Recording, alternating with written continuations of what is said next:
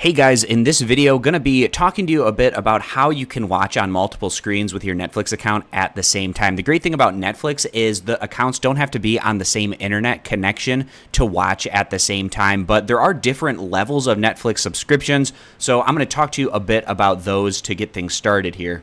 So the different plans, you have basic, which only allows you to watch one screen at the same time. If you have the cheapest Netflix plan at $8.99 a month, then it will not allow you to watch on multiple screens at the same time. But if you upgrade to standard, then you get up to two screens that you can watch at the same time. It's $12.99 a month. And then there's also an option to watch on four screens at the same time.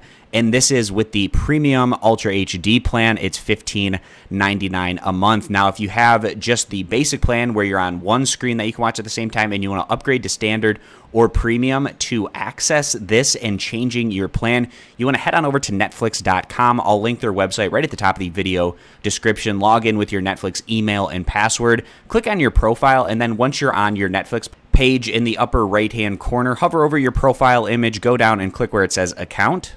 And then in the section where it says plan details, you should have your plan listed right in this area. You can go over and click change plan and then you just select whichever plan that you want, click continue, and then continue to work your way through that to change your plan. Because if you have that basic option, you're only going to get one screen at the same time. And if you are looking to get multiple screens at once, then you have to have either the standard, which is two screens, or the premium plan, which is four screens. And again, the great thing about Netflix is those screens don't have to be viewing on the same internet connection so you can share it amongst friends and family and things such as that. So I hope this video was helpful walking you through how you can watch on two screens, four screens, multiple screens at the same time with your Netflix account. I appreciate you guys stopping by. Consider subscribing, and I'll catch you back here next time.